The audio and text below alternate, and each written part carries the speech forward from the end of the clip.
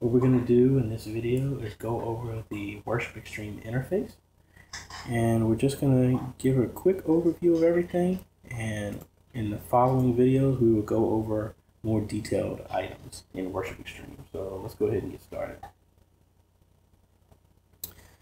So as you can see here on Worship Extreme, this is our main screen. And at the top where you see the Worship Extreme um, button here, this is going to act as our home button. So if we ever went to something else and we want to go back to our home, just go ahead and click on Worship Extreme and that will bring you back to this front start page. All right, this circle with the X, that is going to be your cancel button to where you can remove certain things. If we click on that, we can clear all. This will remove your foreground and your background, or you can selectively pick which one you want to clear. So right now, click clear all. On this side of the screen, this is your active cue list. This is kind of like your playlist of all the activities that you have set up to be played through Worship Extreme, to be displayed on your screen, your monitor, your projector, your live screen, stream, whichever one you're outputting to. Here at the bottom here, this is your small little mini um, display screen. This is if you do not have two monitors set up, you can see um, what the output would look like. So if I click on this, as you can see, this is what will show up.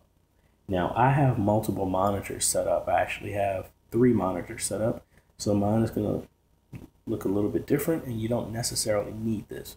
But this is, um, if you're only running this from a laptop or a desktop with only one monitor, and then, and then another monitor is going out to your projector or your output, this is a nice little tool to at least give you an idea of what's going on. All right. So going back to that first button, we're going to go ahead and click clear all to get rid of that. Around the bottom here, you have your slider here to change the size of everything that's on your screen. Me personally, I try and put as much on here as possible. So I'll put it about right here. All right. All right, so now let's go to the top. So we already did our clear button. This next button here is your cue list. If we click on this, this is where it will have a history of all your cues, as well as where you can make new ones, add tags, um, all this other fun stuff, sorted by date, alphabetical order, anything. So right now I just have a test one that we'll be working through. All right, our next button is our lyrics. This is where if you had a um, CCLI license, you can link this and import different songs if you have access to SongSelect which I do not. Um, so I won't be doing it this way. This is your database of the songs that you currently have. So in subsequent videos, I will go through a adding new songs the the manual way, and um, hopefully I'll have access to another the CCLI and song style SongSelect account, so I can show you what happens when you can import from here as well.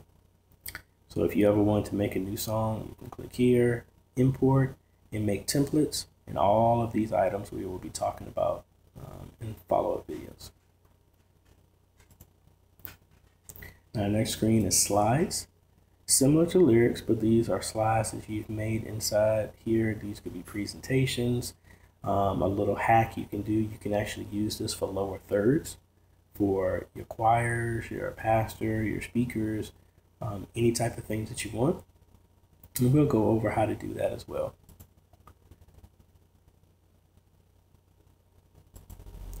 Next, we have our media library. So we can go to our library. These are all of the items that we have imported. And you can sort this. Um, you have your name. You can type and search for it if you wanted to. You can sort by the type, size, modified, so this is mainly the library here. And then you also have a link to the media store, which um, we'll talk about later. Actually, um, CMG Create, you can get some free backgrounds if you go to their website, or you can purchase packets from them that they release monthly. And that's all under here. Now the next feature we have are polls. Now I'm going to actually delete this. This is one of the um, higher tier functions that are built into Worship Extreme. So just letting you know, if you got the free account, you would not have access to this, but I will still go through that. And this is where you can make polls and um, you can poll questions to your congregation or whoever is looking at the screen.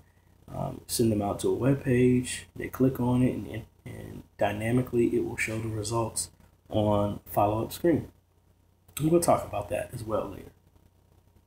All right, uh, next are countdowns. So you can do a countdown timer um, for whatever time that you want. Countdown just a set number, countdown to a specific time, count up. You can have control of font templates and a bunch of other things as well here. Our next button is alerts. Similarly, you can place alerts here to, to be displayed on the screen. Um, for example, um, somebody left their lights on in the parking lot, or uh, you know, a parent needs to be notified of their child um, in a different area of the church. You can do that here.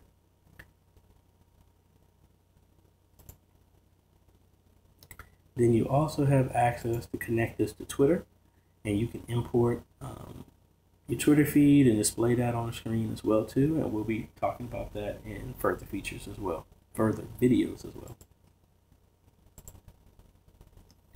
And then you just have your global search that you can pretty much search for anything in here. All right, and then our next screen over here is our display setup. As I said, I have three monitors set up. The first monitor is the one that you're seeing right here. And actually, let me put something on the screen so y'all can actually see how this actually works. So from here, what y'all are seeing right now is my screen number one. Screen and put something on here so y'all can actually see. Screen number two is what will be considered the output to our projectors or TVs or anything like that. And then screen number three, which again is another option of one of the higher tiers um, of Worship Extreme, is our stage display. So this will be a customized display that only people on, say your choir, um, preacher, announcers, or whatever, um, this is the only thing that they will be able to see. And all of that is controlled from up here. You can turn it off, on, set which screen. I can reverse these screens if I wanted to. Um, and I believe as many screens as you have hooked up will be displayed. Um, I have the ability on my computer to have five displays, but I only have two, well, three connected right now. So I would assume that you could have multiple displays as well. Um, I might have to try that in a later video. All right, and then under the gear, you have your sync which will sync everything to the cloud so you could actually make configurations at home. If you install this on your home computer, go to your church, log into the same account, and it will sync. I don't remember off the top of my head the size limit, but let's check that out.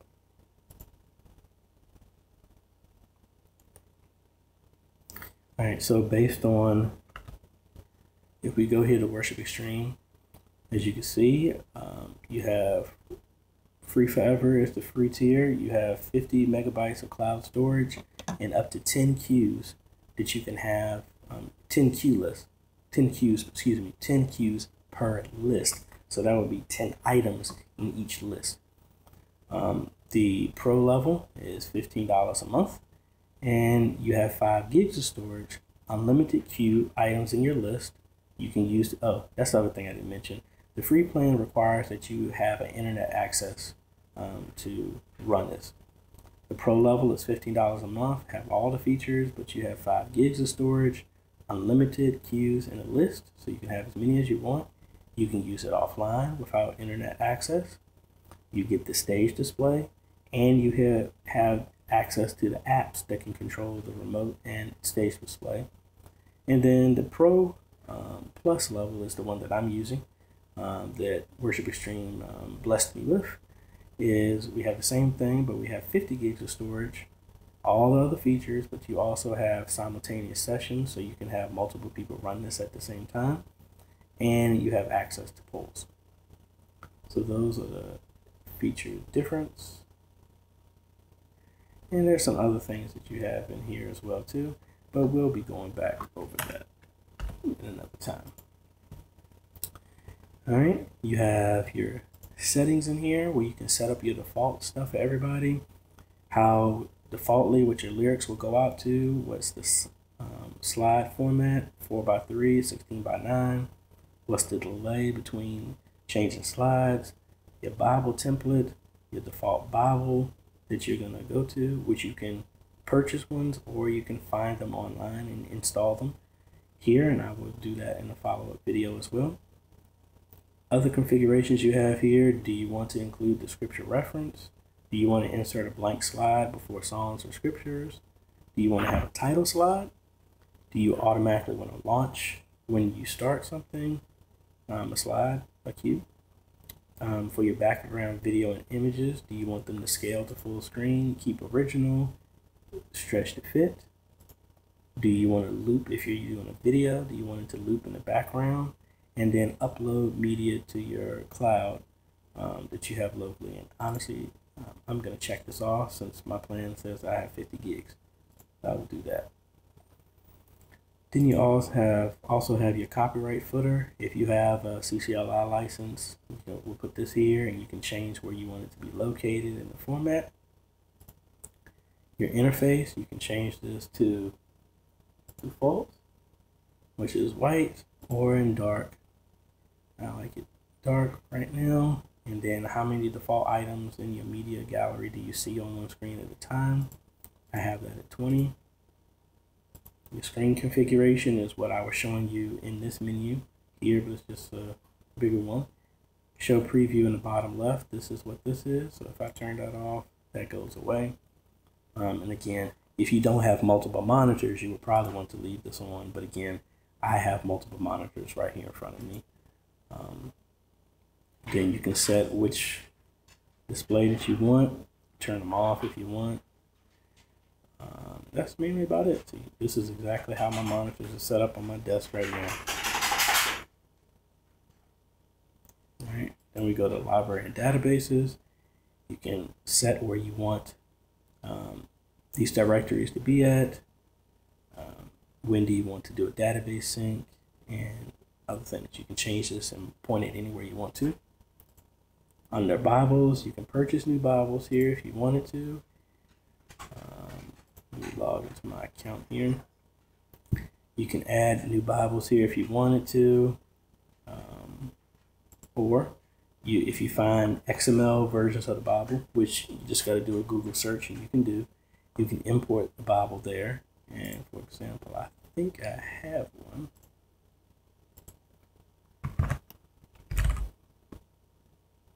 Nah, like I said, I'll have to do that in another video. All right, and then you have your cache. You can clear this out if need be. And that's pretty much about it. So that's the basis of the layout of everything. And um, oh, and here on the latest cue list, this is the area of all your cues that you've used recently. I don't recall how many are going to be displayed here, but this is your most frequently, um, most recently used cue list will be displayed here. So I hope that helped guys and like i said there's going to be some more follow-up videos to go in more in depth with each one of the features that i mentioned. So this is aj we just want to catch back up with me and check out the follow-up videos um, you know. Just want to say thanks y'all for stopping by and you know look out for my other videos and um, one thing I would like, if this is your first time, if you like this type of content, just make sure you go ahead and subscribe to my channel. And then also you check off the, the bell so you get notified when we have new videos. And again, we're going to go through every feature here in Worship Extreme to get you up to speed if you want to use this product in your church. All right, this is AJ. We'll catch you later.